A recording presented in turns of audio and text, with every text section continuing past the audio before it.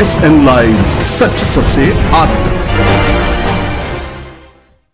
मैरवा में युवक की पीट पीट कर हत्या, पिता गंभीर रूप से घायल। मैरवा थाना क्षेत्र के सेवतापुर में शादी समारोह की खुशी मामूली विवाद के बाद मातम में बदल गया। रविवार की सुबह सेवतापुर सुखनहर नाला के समीप सुबह आठ बजे, मटकोड़ के दौरान पैर पर बोलोरो चढ़ने के बाद विवाद में हुई मारपीट में एक युवक की मौत हो गई, जबकि पिता गंभीर रूप से घायल हो गया। इस मारपीट में दोनों पक्षों से आधा दर्जन लोग घायल हो गए।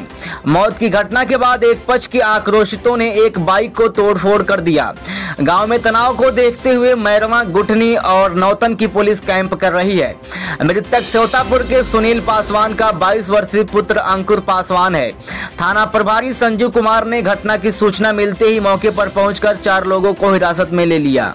घटना के संबंध में बताया जा रहा है कि सेवतापुर के रामाकांत राम के बेटे मोहन राम की रविवार को बारात जाने वाली थी, जिसको लेकर सुखनहर के हरिराम के मशीन के पास मटकोड़ हो रहा था। इसी दौरान सुनील पासवान के घर आए रिश्तेदार मौर्य ट्रेन पकड़ने के लिए बोलोरो से स्टेशन जा रहा था। उसकी गाड़ी मटकोड़ में भांगड़ा कर रही एक लड़की के पैर पर चढ़ गया, जिसको हल्की चोट लग गई।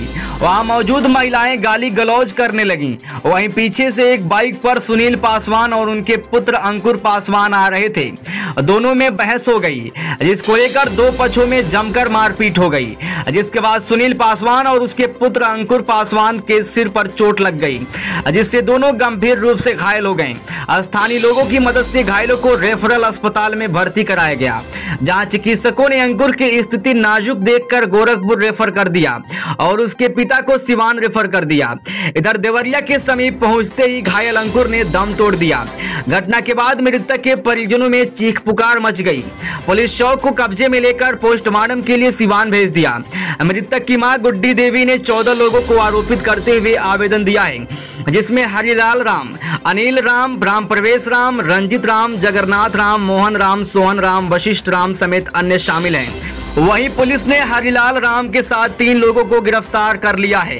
थाना प्रभारी संजू कुमार ने बताया कि आवेदन मिला है, चार लोगों को गिरफ़्तार कर लिया गया है। पुलिस मामले की जाँच में जुट गई है।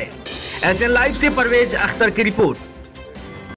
देश और दुनिया की ऐसी ही खबरों को पाने के लिए जुड़े रहिए हमारे साथ। और हाँ अगर आप वीडियो को फेसबुक पर देख रहे हैं तो हमारे फेसबुक पेज को लाइक करें। और अगर आप यूट्यूब पर देख रहे हैं तो यूट्यूब चैनल को सब्सक्राइब करना मत भूलिए।